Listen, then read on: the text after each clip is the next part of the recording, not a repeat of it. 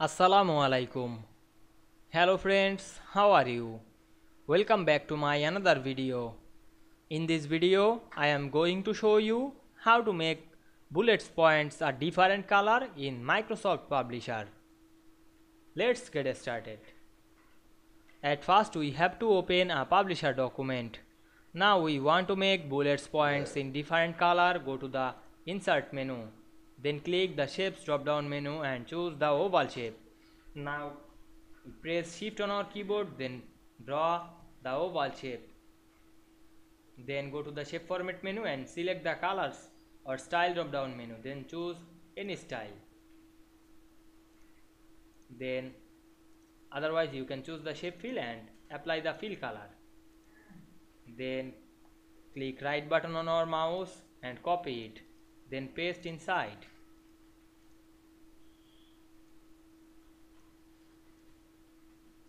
then go to the second bullet list and go back the shape format menu. Then change the color.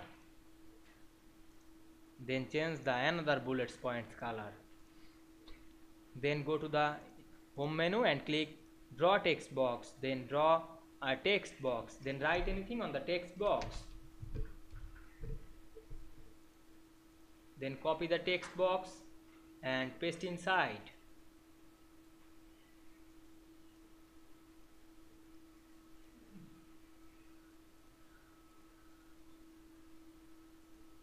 then change the text.